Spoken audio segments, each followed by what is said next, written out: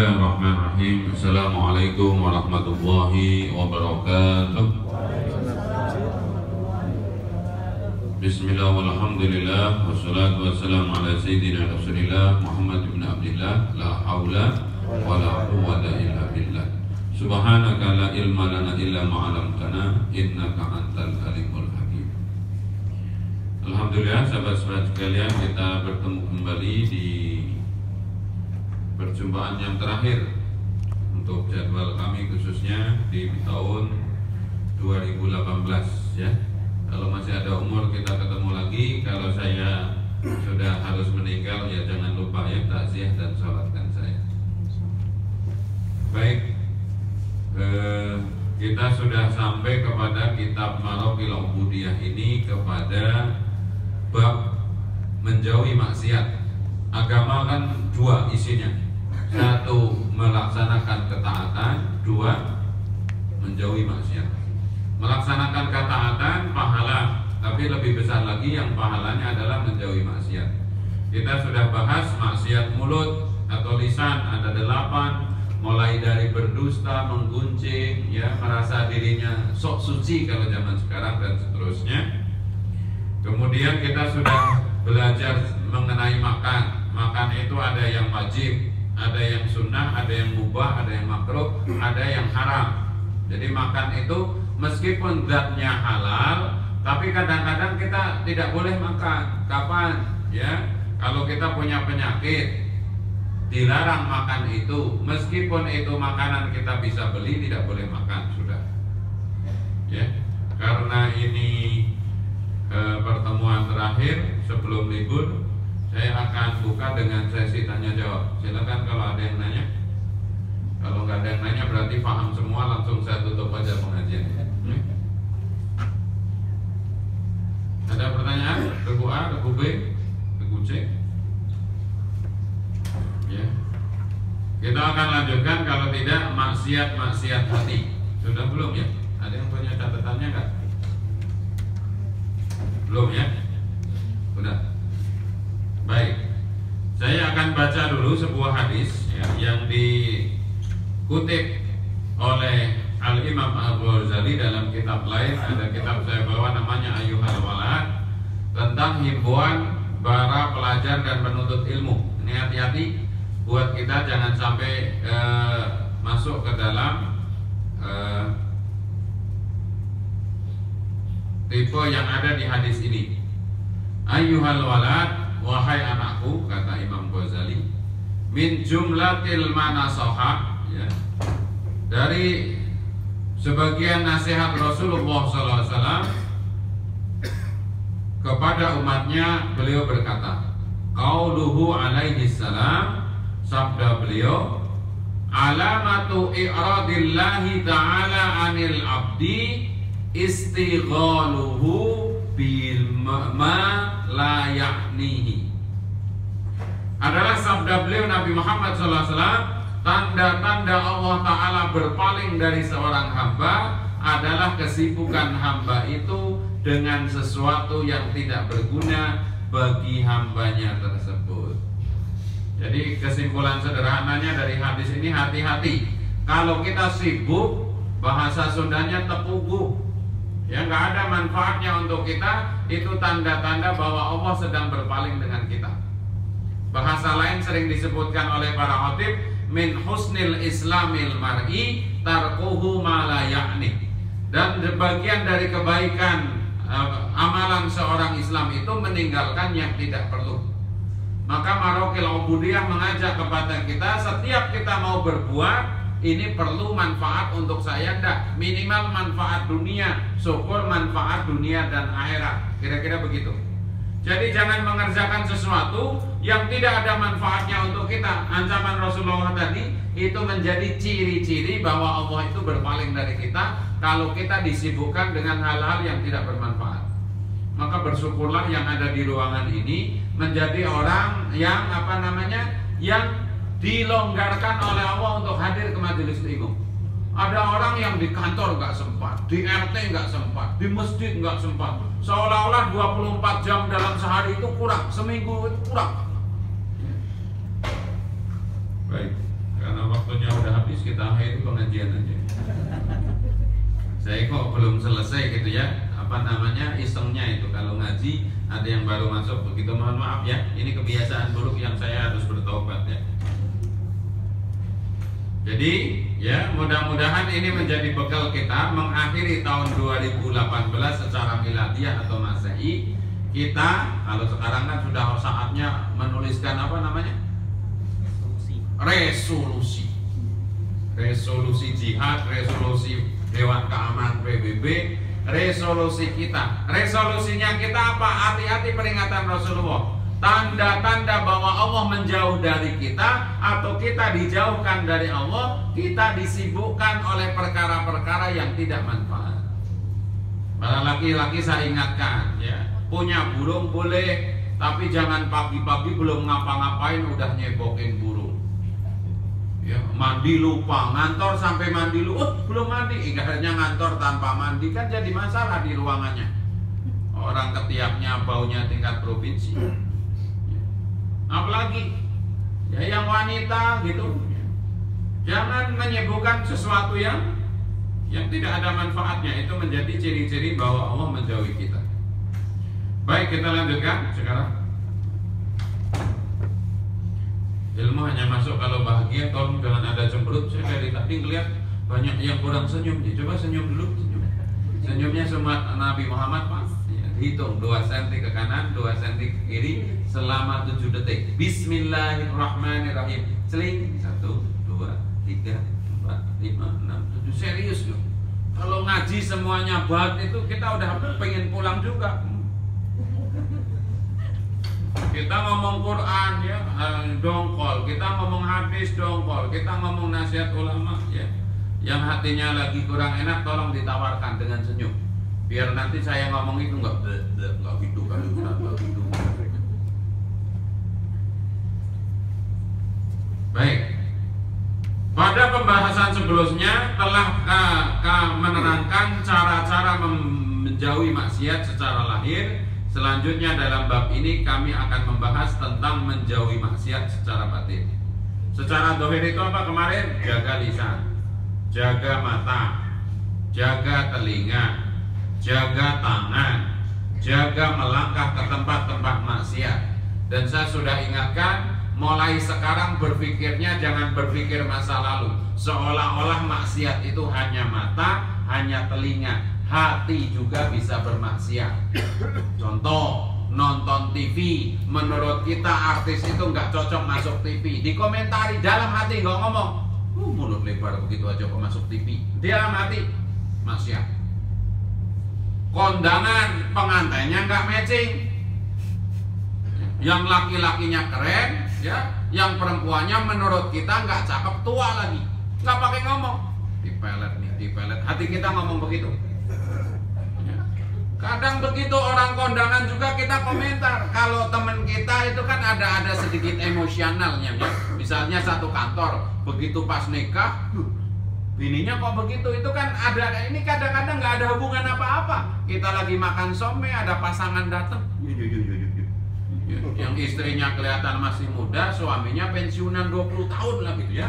Berarti kalau 55 tambah 20 kelihatan 75 gitu. Kita nggak rela, itu maksiat Apalagi tiap hari bermaksiat kepada orang Islam sedikit berbeda ngomong dan seterusnya.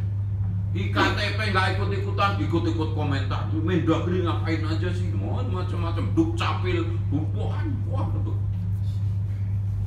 Baik. Menurut Imam Ghazali dalam kitab ini ketahuilah manusia ya banyak memiliki sifat seperti tercela di dalam dirinya ya terdapat karena di dalam diri manusia terdapat un, empat unsur sifat. Ini penelitian ulama, jangan ditanya hadisnya. Ya. Jadi menurut Imam Ghazali ya dibenarkan oleh ulama yang mengikutinya di dalam diri kita seperti ilmu psikologi itu ada yang dalam Islam diharamkan karena apa? Itu is, eh, ilmu yang tidak ada dasar hukumnya hanya penelitian. Bahkan tokohnya ilmu psikologi ada yang pernah tahu? Namanya Simon Freud. Ngomongnya aja susah gitu ya. Itu mengatakan bahwa manusia itu katanya makhluk seks. Menurut penelitian beliau. Jadi yang dipikirin seluruh disurvei orang itu mau laki-laki maupun perempuan yang dipikirin dalam otaknya itu memikirkan seks saja, ya. Tapi banyak yang setuju. Ya. Anehnya dalam ilmu psikologi, bapak ilmu psikologi ya itu tadi siapa? Tulisannya susah ya, saya takut salah itu ya. Nah menurut Imam Ghazali kita itu punya empat sifat. Satu namanya sifat sabuiyah. Sabu, ya, ingat sabu-sabu lah gitu ya. Ini bahasa Arab sabuiyah. Artinya sifat binatang buas di dalam diri kita. Manusia itu yang paling komplit. Ada sifat malaikat, ada sifat setan dalam diri kita. Di dalamnya juga ada unsur kebinatangan. Ya, makanya komplit. Kalau udah marah yang namanya manusia melebihi singa. Singa aja makannya tertentu. Ya, kalau manusia rumput dimakan, asmaragus gitu ya, daun popohan apalagi. Yang kedua sifat bahimiah. Bahimiah itu binatang ternak. Kalau subuiyah, eh, sabuiyah binatang buas. Kemudian apa? Yang ketiga sifat setan, saitonia ada di dalam diri kita. Dan yang keempat sifat robania. Jadi yang negatif dari diri kita ada tiga binatang buas, binatang ternak dan setan. Yang positif robania. Ya. Sifat sabuiyah adalah amarah. Jadi yang namanya Makanya ada yang sebut raja hutan itu siapa? Raja hutan? Tarzan. Singa. Singa. Ya, Tarzan. Tarzan apa singa raja hutan? Ya. Kenapa singa menjadi raja hutan? Karena amarahnya kuat. Makanya istilahnya kalau ada sesuatu, ya ada premanisme atau apa disebut apa namanya hukum apa? Hukum rimba. Ya. Karena apa? Yang amarahnya paling kuat tatonya paling keren, yang paling kejam di situ pimpinan. Yang kedua sifat bahimiyah adalah sifat sahwat. Ya. Sahwat makan, sahwat berhubungan, ya, lawan jenis dan seterusnya itu adanya di e, sifat binatang ternak. Kemudian sifat syaitonia adalah senantiasa membangkitkan syahwat. Ya, syahwat bahimiyah dan amarah sabuiyah sedangkan robaniyah adalah akal yang diperintahkan untuk memerangi tipu daya setan. Contohnya belum ada yang lain. Saya punya contoh cuman ini yang paling gampang itu. Dalam setiap keadaan kita itu punya fa'alhamaha fujuroha wa taqwaha. Selalu dibisikkan untuk berbuat buruk dan berbuat takwa. Yang berbuat buruk itu tiga unsurnya tadi binatang buas, binatang ternak sama setan. Yang baik satu, ya, yaitu sifat ketuhanan. Saya mencontohkan diri saya sendiri, nggak usah orang lain. Duduk di Starbucks, nggak ngeliat, nggak apalagi minum, ya, menikmati wifi gratis kan gitu. Ya, satu kali pesen minum, kira-kira duduk di situ berapa lama rata-rata? dua tiga jam ya minumnya setengah senti setengah senti gitu ya karena biar filenya terdownload semuanya gitu ya. Ya lagi ngadep ke sana ya. Kemudian ada suara hak perempuan. Tok tok tok tok tok. Setan binatang apa itu langsung ya. Terutama setan yang disikin setan. Sehingga apa? Sahwat saya muncul amarah saya muncul. Gimana? Di telinga kita seolah-olah ada yang ngomong, ada wanita itu keren, ya, bajunya belum selesai dijahit udah dipakai. Itu ngomongnya begitu, biar tertarik.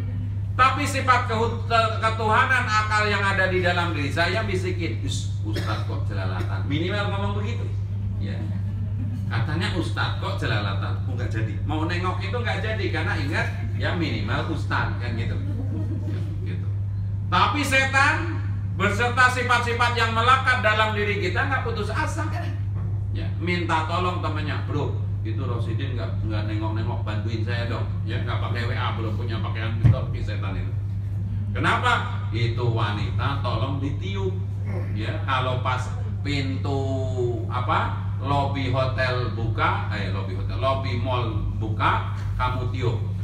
Gitu. biar apa? Bau parfumnya tercium oleh Rosidin kan kalau baru imajinasi belum nengok begitu hidung saya pengindraannya udah bau ping begitu dicium Bulgari ekstrim kan langsung nengok pingnya gitu ya saya tanya langsung ngomong yang lama din, yang lama din, yang lama. Sifat ketuhanan dalam diri kita istighfar astagfirullahaladzim astagfirullah. Saya tanya ngomong sambil ngintip astagfirullahaladzim. Itu menyangkut lawan jenis. Nggak usah khawatir. Ya, saya bela para laki-laki. Dulu kan yang dituduh cuman kita. Ternyata tidak. Wanita-wanita juga ternyata suka gagal fokus kalau ada yang ganteng. Buktinya di mana? Waktu saya mendampingi umroh di Turki. Tour itu ganteng banget, asli, putih, keren, bahasa Inggrisnya cacicus gitu. Itu para wanita itu nggak dengerin pengumumannya. Ya nggak gagal fokus. Bahkan foto pret-pret bu, nggak boleh, nggak apa-apa suami saya udah ikhlas katanya.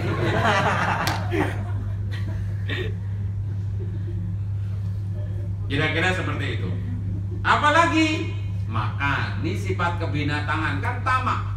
Contoh ya, binatang yang paling tamak digambarkan Pak Kiai Haji Zainuddin UMZ siapa? Monyet. Tangan kanan pegang, tangan kiri pegang, kakinya pegang pisang. Kita kan begitu. Coba ya, kalau nggak ada makanan mah nggak tahan. Begitu ada makanan, apalagi gratis, contohnya kondangan, keluar itu. Mohon. Pertama kali yang favorit bakwan malam pindah lagi some apalagi ya konter yang paling favorit bahkan lagi pidato aja ya udah pada antre deket situ apa? Ah sepakat laki-laki dan perempuan. Itu udah puas itu dalam hal itu eh apa begitu giliran kita giliran habis innalillahi wa inna apalagi kemudian tamak Kenapa tamak? Udah tahu. Ya. Kita cuman sendiri. Kalau cocok misalnya ya, sop iga cocok, bawa mangkoknya dua. Buat saudara saya satu, padahal buat kita juga. Lebih parah lagi apa? Sifat setan apa? Mubadir. Makan supa sup baru dua suap nggak cocok taruh. Kalau nggak panas ya nggak. Maka dia pindah nyari yang yang nggak panas, yang nggak bukan ditunggu sampai adem. Kenapa? Makanya kalau itu lihat-lihat. Mentang-mentang gratis ikut makan sushi. Padahal seumur-umur gak doyan sushi. Begitu makan langsung muntah. Sate padang gak dimakan satenya. Eh gak dimakan lontongnya. Tinggalin. Semuanya begitu. Ya. Itu maksiat-maksiat yang kita tidak sadari. Belum lagi mulutnya penuh sambil ngomong. Ya. Pohon nolong gimana? Pohon nolong belum lagi foto ya nyendoknya pakai tangan kiri foto pakai tangan kanan kadang-kadang kan begitu nah untuk bilang minta kita lanjutkan jadi sifat tiga itu ya berlawan melawan di dalam diri kita seperti itu secara globalnya fa'alhamaha fujuroha wa taqwaha. Dan itu setiap kejadian. Kejadian apa? Pertama Adam. Allahu Akbar Allahu Akbar.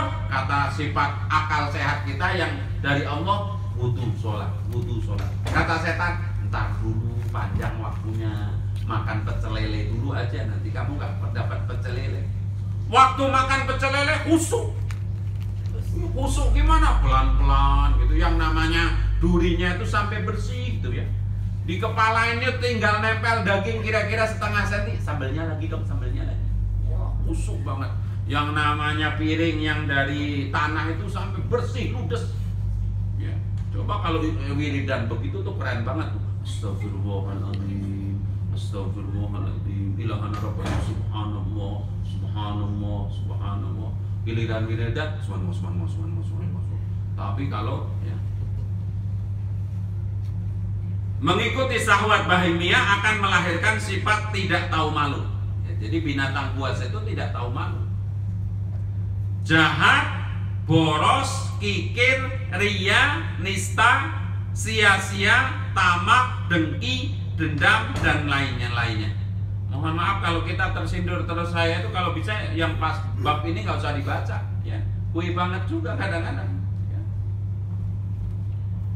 Mengikuti amarah sabuiyah akan menimbulkan sikap ya suka menonjolkan diri berlaku keji bermegah-megah dusta sombong membanggakan diri meremehkan orang lain jahat zolim dan lain sebagainya. Apa pun jadi mohon maaf misalkan ya kita karyawan dapat motor sama-sama pingin motornya sama dengan temennya atau kita buat variasi yang lain minimal tutup pentil ganti yang hijau. Apalagi? Beli rumah satu komplek. Ada yang ikhlas nggak? Rumahnya apa adanya? Pasti kita itu pagernya ingin diganti, kalau nggak dikasih tanaman. Nggak apa-apa. Kalau niatnya itu ingin lebih indah. Tapi kadang-kadang kita tertipu niatnya biar beda dengan orang. Ya, baik. Kelihatannya pengajiannya kurang menarik karena apa namanya? Ya gue banget gitu kan, menyindir banget gitu ya. Tulisan apa udahan ganti tema aja. Hah? Ya ya, kalau bahimi yang tadi tidak tahu malu, yang penting makan. Ya, kalau yang sabu iya sifat suka menonjolkan diri, tidak mau kalah. Ya, saya termasuk tidak suka melihat talk show di TV. Talk show di TV itu semuanya menonjolkan diri, nggak ada yang mau ngalah. Ya, meskipun salah gitu, wes ngotot luar biasa, itu ngotorin hati. Makanya ada ILC, ILL, CU, LC, saya tidak pernah nonton karena apa? Nggak ada yang yang mohon maaf. Meskipun itu nasihat yang bagus, kalau sudah di situ nggak ada. Dan yang membela nasihat juga akhirnya amarah. Ya saya suka sedih ya sekarang kalau kadang-kadang baca Facebook itu kontennya bagus tapi yang membela itu dengan kalimat sombong. Contoh, ya, ini contoh, ya. Misalkan ya tim sukses sebelah sono begini begini begini, nanti dikomentari Terus gitu, selalu seperti itu tiap hari.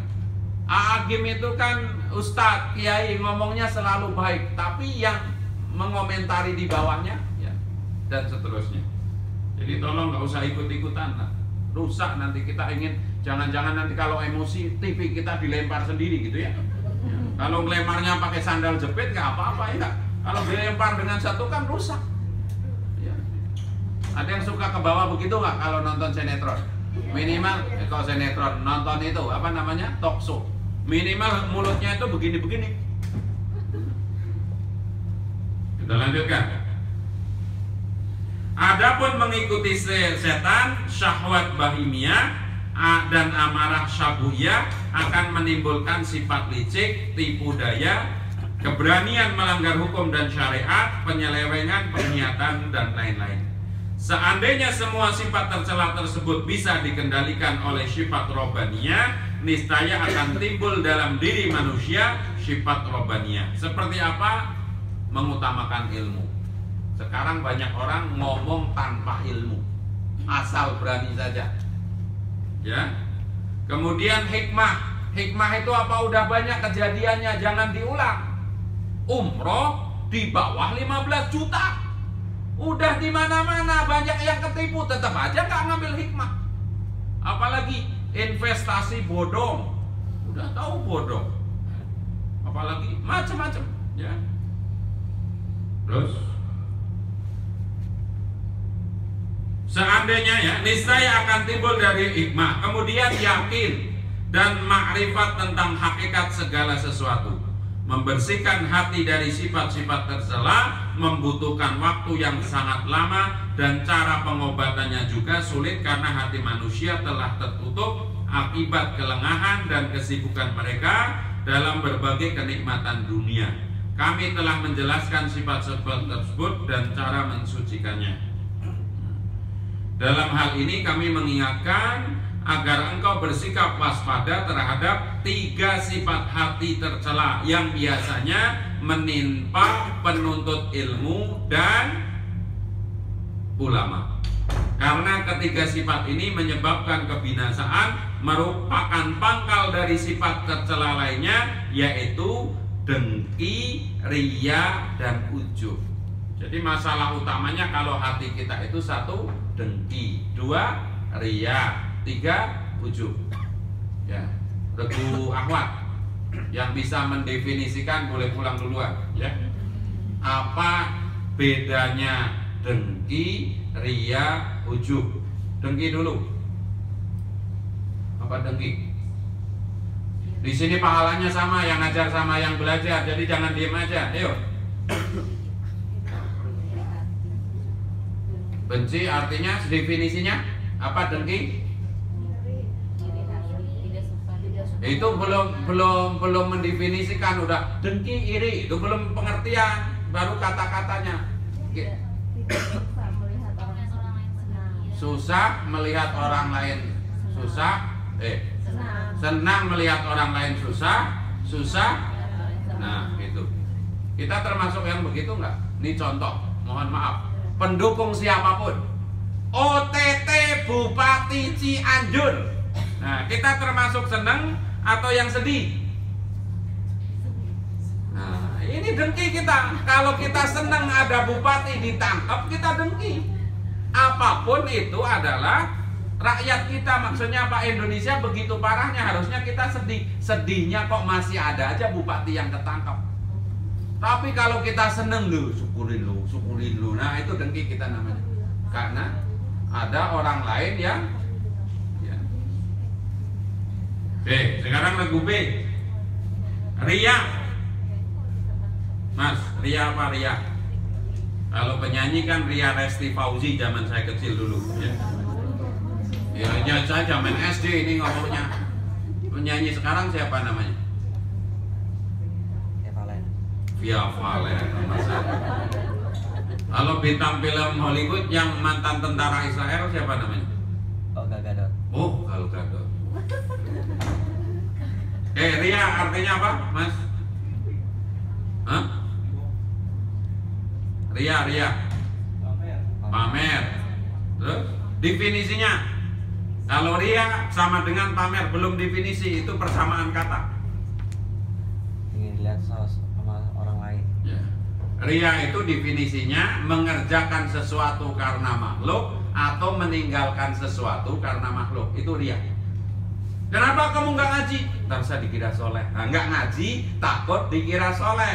Dikira soleh. Itu ria. Atau kenapa kamu duduk di depan? biar dikira saya rajin. Nah ini namanya ria. Jadi dua-duanya jelek, meninggalkan juga jelek, mengerjakan juga jelek. Kalau tidak karena Allah. Kenapa kamu ngaji? E, kamu kenapa nggak ngaji? Ah, ustadznya nyebelin. Nah itu ngaji gara-gara ustadz itu ngaji harus karena Allah. Kalau lagi nyebelin ya itu takdir namanya gitu. Kalau ustadznya enak ya itu itu rezeki gitu loh. Kita kan suka begitu. Ustadznya enak datang, ustadznya nggak enak, memang hak kita, tapi itu ria. Karena apa? Mengerjakan sesuatu karena makhluk, bukan karena Allah. Karena nasihat yang datang kepada kita bukan dari ustadz itu, dari Allah. Itu kira-kira.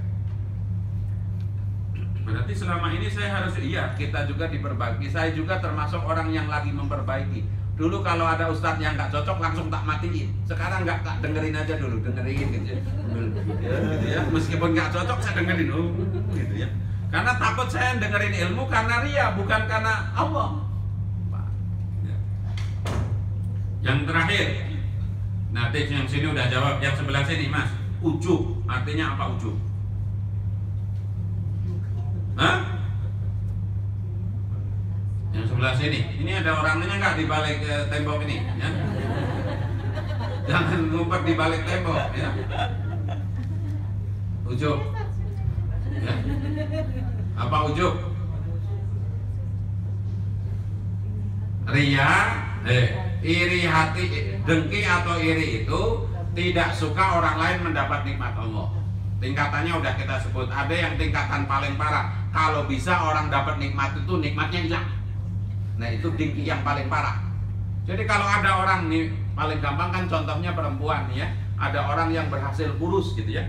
Oh, jangan sampai ya, kalau bisa gemuk lagi, gemuk lagi. Maka apa?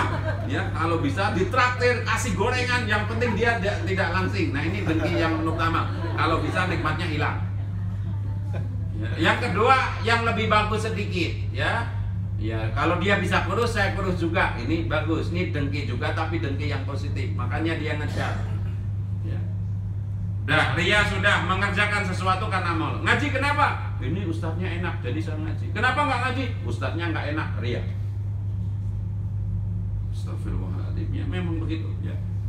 Kemudian ujub, ujub itu membanggakan diri tanpa ngomong-ngomong kepada orang lain. Masalahnya ada di diri kita.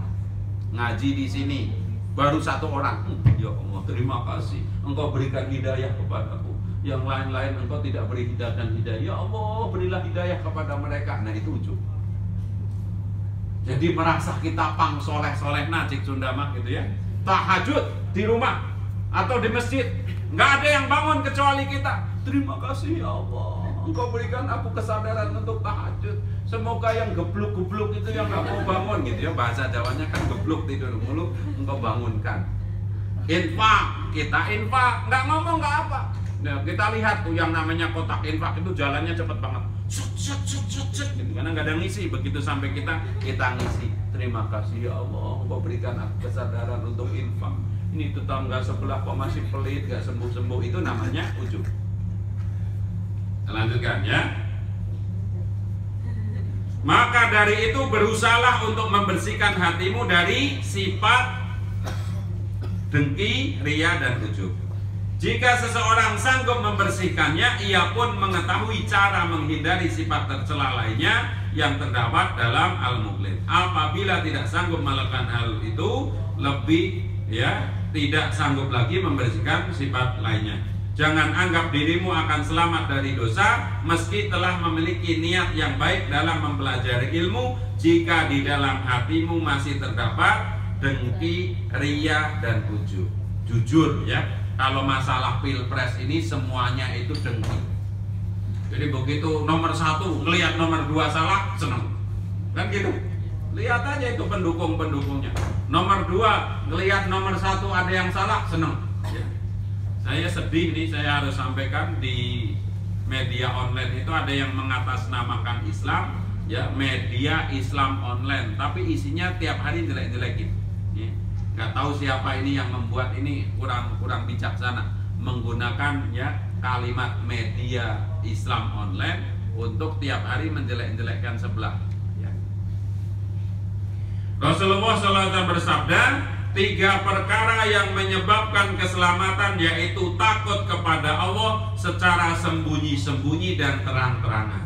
Satu, lagi sendiri takut sama Allah, lagi terang-terangan takut sama Allah. Ini kita itu kan suka punya penyakit begini nih. Nih mohon maaf Bapak Ibu, Mas Mbak, kalau di kampung sendiri jaga diri. Begitu keluar kampung nggak ada yang tahu, semaunya sendiri. Ini para wanita saya ingetin, kalau di Indonesia bajunya rapi, begitu sudah pindah ke Eropa suka berubah. Ya minimal celananya itu jadi merek tetet. Masih pakai apa namanya? Masih pakai jilbab sih, tapi foto di depan di depan Monas waktu 212 sama foto di depan Menara Eiffel berbeda. Di sini mudah-mudahan nggak ada. Saya di pengajian-pengajian lain ngomong apa adanya. Eh, ngaji sama pergi ke Menara Eiffel, hisapnya sama. Jangan kalau ngaji pakai hijab, begitu di sana pakai lepet. Tahu lepet, mereknya tetet semuanya. Ya. Sudah sepatunya segini, celananya membentuk badan, ya sweaternya membentuk badan, melek lagi, udah komplit sudah. Para wanita kalau foto jangan melet, jangan menyon, ya. Ya. Kemudian yang kedua berlaku adil dalam keadaan ridho dan marah, ya adil dan berbuat wajar dalam keadaan miskin dan kaya dan tiga perkara yang menimbulkan kebinasaan adalah sifat kikir yang dituruti, hawa nafsu yang diikuti, dan kebanggaan seseorang pada diri sendiri. Ini semuanya sekarang kita terjangkit, apalagi di TV. Pendapat saya begini, begini, begini, begini. Mohon maaf ya, kita itu termasuk orang yang menikmati contoh. Yang paling favorit sekarang kalau di TV pendapatnya siapa yang ditunggu? Kalau ILC? Rocky Gerung. Waduh. padahal kenal enggak ketemu enggak kita seolah-olah satu kor Padahal secara akidah dia bukan orang Islam. Ini kita ketahui kita bangga banget. Begitu Bang Rocky ngomong itu ya enggak. Padahal wallahu alam belum tentu benar. Tapi kita gitu karena pendapatnya cocok dengan nafsu kita, kita ambil. Sama ibadah juga kadang begitu. Sholat raweh 8 ya rokaat tapi 45 menit. Ada sebelah 20 rokaat 20 menit. Milih yang mana? 20 menit. Yang 20 menit. Ya, cepat. Ya. Kikir yang dituruti adalah bahil terhadap yang dimiliki sehingga seorang tidak mau menampakkan di jalan yang benar, menunaikan hak-haknya terhadap sesama makhluk. Adapun hawa nafsu yang diikuti yaitu senantiasa menuruti dan memenuhi keinginan hawa nafsunya, sedangkan bangga terhadap diri sendiri berarti menganggap perbuatannya lebih baik dari perbuatan orang lain. Meskipun perbuatan itu sebenarnya buruk, inilah fitnah terbesar yang menimpa para ulama dan juga kita para pencari ilmu. Mungkin itu mudah-mudahan kita waspada ya masalah utama kita secara hati tiga dengki, ria, ujub. Kalau ujub ujungnya nanti takabur. Takabur itu merasa hebat. Ya, kita harus kenali diri bahwa kita mau tidak mau tidak bisa terpisah dari sifat binatang buas yang ingin menonjolkan diri. Sifat binatang ya, pada umumnya yang ingin menuruti hawa nafsu dan tentunya setan. Tapi ingat, para ulama sudah mengatakan kita tidak mungkin benar 100% terus menerus kata kita bukan malaikat tapi juga tidak mungkin salah terus menerus karena kita bukan. Ya. Silakan kalau ada pertanyaan, kalau enggak ya kita tutup. Saya pulang teman-teman silakan kerja kembali. silakan silakan apabila ada pertanyaan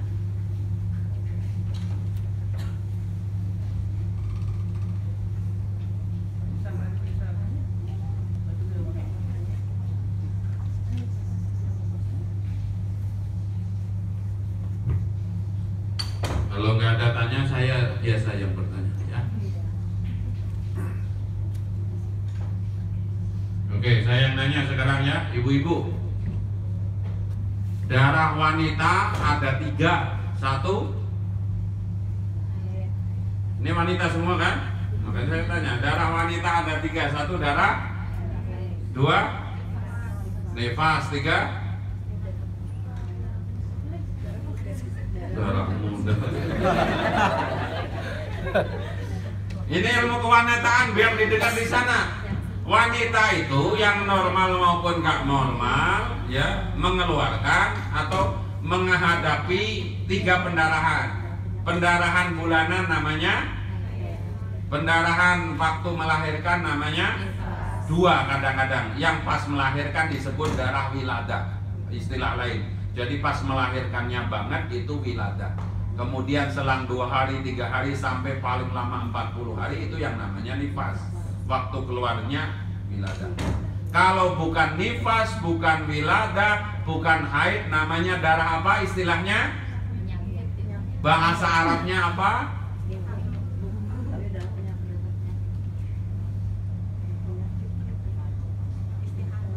Isti istihoroh istihadho. Jadi bapak-bapak ingat ya, istri yang punya istri yang belum segera punya insya Allah. Ya. Perempuan itu setiap bulan pasti haid. Kalau yang nggak pasti haid, tolong diperiksakan. Ya. Kemudian kalau lahir nifas. Kalau tidak nifas tidak melahirkan, eh tidak haid tidak melahirkan kok pendarahan itu penyakit. Hubungannya dengan sholat kalau istiadoh tetap harus sholat. Haidnya tujuh hari, udah selesai. Kok masih sampai sembilan hari yang dua hari itu dihitung harus sholat. Bersihkan sholat, bersihkan sholat. Ya makanya masing-masing wanita termasuk para suami harus tahu jadwal haid istrinya. Satu biar nggak ditipu. Ya sudah bersih mengatakan haid yang kedua jangan sampai istrinya dosa kenapa dosa udah waktunya sholat tidak mandi-mandi Contoh, ya haid itu bersih waktu asar, jam 3 udah bersih. Dia nggak mandi, nanti aja subuh mandinya. Berarti dia utang tidak sholat asar, sholat maghrib, sholat isya. Yang kedua dosa menipu suami. Kenapa nggak mandi? Kalau kelihatan mandi itu langsung ada serangan umum satu Maret. Udah. Yang laki-laki sekarang saya nanya, tolong dijawab. Yang membatalkan wudhu apa saja? Mulai dari depan, Mas. Yang wudhu itu batal gara-gara apa? Satu, ya, kentut. Terus makan yang enggak. Gara-gara makan batal wudhu. Ayo, ini Bu, kita kan tiap hari muntah muntah yang disengaja kalau nggak disengaja nggak. Ya misalkan lihat orang ganteng muntah gitu ya. Eh diingat-ingat kembali ini ini ilmu harian. Wudhu kita batal satu keluar sesuatu dari dua jalan. Misalkan perempuan suka ada kalau bi- bikin kerudung itu ngemut jarum pentol hati-hati. Ketelan gitu ya kemudian bersihin keluar brr. kalau wudhu wudhunya batal jadi keluar sesuatu dari dua jalan. Yang kedua, yang batalin wudhu tiap hari loh. Bersentuhan laki-laki perempuan yang bukan mahram tanpa penghalang. Ya, terus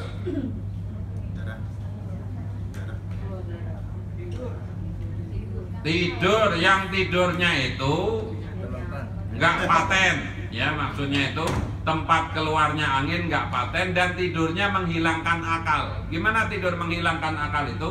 Kalau tidur duduk begini nih. Kalau begini itu akalnya masih ada kalau tidurnya begini. Nah gitu. Tapi kalau udah begini begini. Ya, ada nada ada nada nggak dengar apalagi ngangkat itu. Mohon maaf anusnya itu batal wudhunya itu. Betapa banyak jumatan begitu.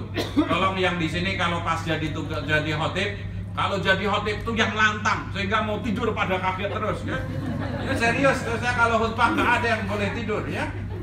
Baca Qur'annya yang kenceng. Ya ayyuhalladzina amanu kan. Itu aja tetap kadang-kadang ustadznya sakti beneran kalau Jumatan itu nggak kelihatan sama sekali ya. Oke, keluar dua jalan, tidur, bersentuhan laki-laki perempuan, apa lagi?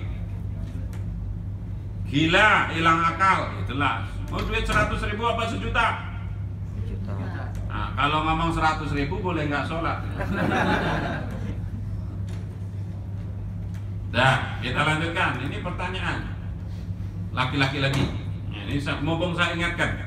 Seringkali di masjid, musola, perkantoran maupun rumah itu suka deadlock. Kenapa deadlock? Khotibnya nggak datang, nggak ada yang berani naik ke atas.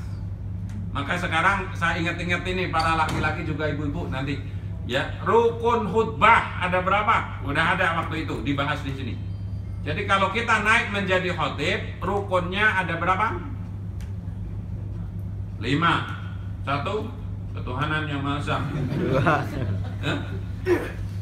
Mas, serius ini. Jadi besok-besok kalau di masjid kita khotibnya nggak datang naik aja. Yang penting gugur rukunnya. Apa rukun khutbah? Satu, memuji Allah. Alhamdulillah. Dua, bersolawat kepada Nabi Muhammad. Tiga, berwasiat takwa. Empat, membaca Al-Quran. Ya ini belum berani maju makan maksudnya saya ngingetin besok-besok maju-maju aja. Yang penting gugur kewajibannya atau apa namanya rukunnya. Rukun khutbah 5. Nanti kalau anaknya nanya PR udah tahu ya. Rukun khutbah 5. Satu, memuji Allah. Memuji Allah. Dua, Salawat. membaca sholawat kepada Nabi. Sholawatnya nggak boleh domir, nggak boleh Allahumma sholli alihi, harus disebut nama Nabi Muhammadnya. Allahumma sholli ala Muhammad wa ala ali Muhammad. Yang ketiga wasiat takwa. Kalau bahasa Indonesia, bapak-bapak yang hadir, mari kita bertakwa kepada Allah. Kalau bahasa Arab, ittaqullah, ittaqullah. Udah. Berikutnya apa? Baca Al-Quran. Yang apal aja apa? Misalkan Yasin, udah cukup. ya. Yang terakhir mendoakan kaum muslimin di antara dua khutbah itu. Jadi kalau khutbah yang sah cuman begitu sah. Alhamdulillah, Alhamdulillah, Allahumma salli ala Muhammad wa ala ali Muhammad. Ittaqullaha haqqa tuqatih wa la tamutunna illa wa antum muslimun. A'udzu billahi minasyaitonir rajim. Inna a'tainakal kautsar fasalli li rabbika wanhar. Inna syani'aka huwal abtar. Duduk, itu khutbah pertama Khutbah kedua, Alhamdulillah Wassalatu wassalam ala Sayyidina Rasulillah. Ittaqullah. Terus, Bismillahirrahmanirrahim. Toha. Allahumma ufir lil muslimin wal muslimat wal mu'min. Udah, duduk. Sah. Kalau diprotes, kenapa kamu nggak? Yang penting sah, orang saya nggak bisa ceramah. Baik ya, kalau nggak ada pertanyaan cukup, mudah-mudahan ada waktu kita ketemu kembali, insya Allah. Ingat, agama sisinya dua. Kalau dari sisi sisi umum, satu isinya kabar gembira, basyiro. Yang kedua, nadiro, peringatan. Agar kita semangat beribadah, maka kita diiming-imingi surga, bidadari. Ya. Kalau laki-laki kalau dengar surga pasti pikirannya langsung bidadari. Itu itu normal karena itu kabar gembiranya begitu. Kemudian peringatannya neraka. Kalau kemudian isi agama apa dua? Mengerjakan ketaatan, menjauhi maksiat. Tapi ingat dalam beragama ulama sudah menggariskan Al-Islamu huwa dinul ladzi ba'asa bihi Rasulillahi li hidayati wa sya'adati. Agama itu petunjuk dan sumber kebahagiaan. Maka orang yang beragama harus bahagia. Jangan uh, beragama tapi mohon maaf ya nggak pernah senyum. Ya sedih terus menerus. Al-Fatihah. Bismillahirrahmanirrahim. Alhamdulillahirabbil alamin arrahmanir rahim maliki yaumiddin. Iyyaka na'budu wa iyyaka nasta'in ihdinas siratal mustaqim. Siratal ladzina an'amta 'alaihim ghairil maghdubi 'alaihim waladdallin. Amin. Rabbana atina min ladunka rahmah wa hayyi lana min amrina rasada. Ya Allah ya Rahman ya Rahim. Limpahkanlah pertolongan dari sisimu dan berilah kami untuk urusan kami petunjukmu sehingga kami mengikuti sunnah sunnah Rasulmu dan sesuai dengan yang kau ridhoi. Ya Allah jadikanlah ilmu kami ilmu yang bermanfaat, amal kami amal yang kau terima, rizki kami melimpah berkah luas dan tidaklah engkau uji kami dengan penyakit kecuali engkau sembuhkan. Ya Allah jadikanlah keluarga kami keluarga yang penuh ketenangan Anak-anak kami soleh dan solehah Dan pada waktunya kami nanti wafat dalam keadaan husnul khatimah Pilihlah kami menjadi orang yang cukup sehingga mampu membantu orang lain Kami berlindung dari kekurangan rizki sehingga bergantung kepada orang lain Ya Allah jangan sampai kami wafat kecuali kami telah mengambil pahala haji mabrur Wukuf di Padang Arafah pada tanggal 9 Zulhijjah. Bifadli subhanaka rabbika rabbil izzati amma yasifun. Wassalamun alal mursalin walhamdulillahi rabbil alamin. Kita akhiri dengan senyum lagi sekali lagi. Tengok kanan kirinya, sebelahnya kasih senyum yang paling mari. Subhanakallahumma bihamdika asyhadu an la ilaha illa anta astaghfiruka wa atubu ilaik. Assalamualaikum warahmatullahi wabarakatuh.